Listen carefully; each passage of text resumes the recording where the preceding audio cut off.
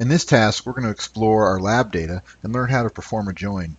I have QGIS Desktop open and I've added the county shapefile from the Lab2 data. So let's examine the attributes we have to work with. I'm going to right click on this layer and from the context menu choose Open Attribute Table. I can see that there are 3,283 records. The area and perimeter fields are created as part of the file format, which is a shapefile. So these represent the area and the perimeter of each feature in map unit, in other words, each county. Since this dataset is in the geographic coordinate system, these units are in decimal degrees. And this is a really difficult unit to work with, so these values don't provide much added information to us. This column on the far right, square mileage, is much more useful. This holds the area of each polygon in square miles. County P010 is a unique ID. Then there are fields for the state abbreviation, the county name, and the FIPS code. FIPS is another acronym. It stands for the Federal Information Processing Standard.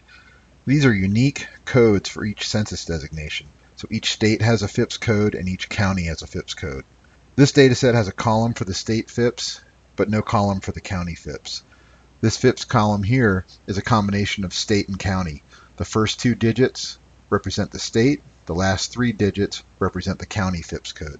So by combining the state and county FIPS codes, each county in the United States receives a unique five-digit ID.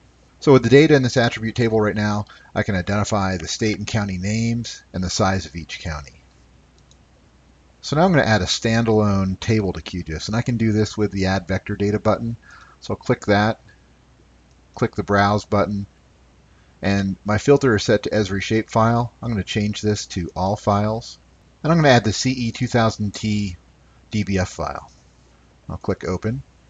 And the table is added to my Layers panel. And to look at this table, I can right-click on it, and from the context menu, choose Open Attribute Table. So I can see there's a lot of socioeconomic data contained in this file. Population totals, population total by gender, population total by race, etc. It would be great to append all this data to my counties layer. And to do this, I would need a unique ID field common to both the county's attribute table and this standalone table. I might initially think that county name would work. However, if I sort this standalone table by county, I can see right away that there are half a dozen entries for Adams County or more. So that's not a unique ID. There's Adams counties in many different states. The FIPS code is what I want because this FIPS code, the combination of the two-digit state and three-digit county, provides a unique ID for each county. Now that I'm familiar with both tables, I'm going to close this table and to perform the join, I'm going to right click on the counties layer and open up the layer properties for it. And I'll go to the joins tab. To start the join, I'll click the add join green plus button down here. Starting out with this join layer up here, the join layer is the table I'll join to the shapefile attribute table. Since I only have one table in my layers panel, there's only one choice, CE2000T. Since I've previewed both the county layer attribute table and the CE2000T standalone table, I know the join field is FIPS, and the target field is also FIPS. So the join field is FIPS, and I'll set the target field to FIPS. Now both of these fields happen to have the same name, but that's not a requirement for a join. This is just a coincidence in this case. You just need to have the same common ID in both fields. They can have different names. Now that I've got that set up, I'll just click OK. The join has been added. I'll click OK on this. And now let's use the identify tool.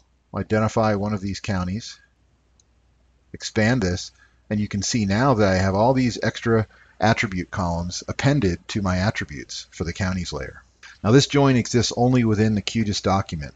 In other words, the extra fields aren't physically appended to the shapefile yet. To make this join permanent, I'll save the layer to a new copy.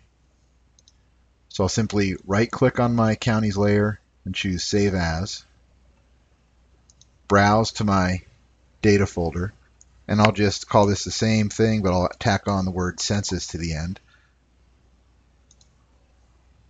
and click OK. Now I have a new version of that counties layer that is complete with all of those appended columns. Now I can remove the original counties layer, right click and from the context menu choose remove, since I no longer need that. All the data I need is in this layer. In fact, I don't need the standalone table either. I can remove that. Those are both intermediate data sets.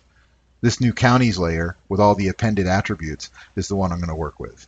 In the next task, you'll learn how to classify the newly joined data to make what is known as a chloropleth map or a data map.